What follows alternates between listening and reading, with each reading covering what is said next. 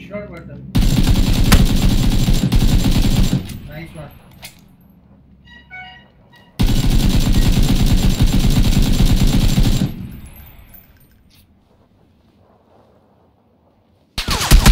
ఓయ్ నన్ను లేపొచ్చు కదా టైం లేదా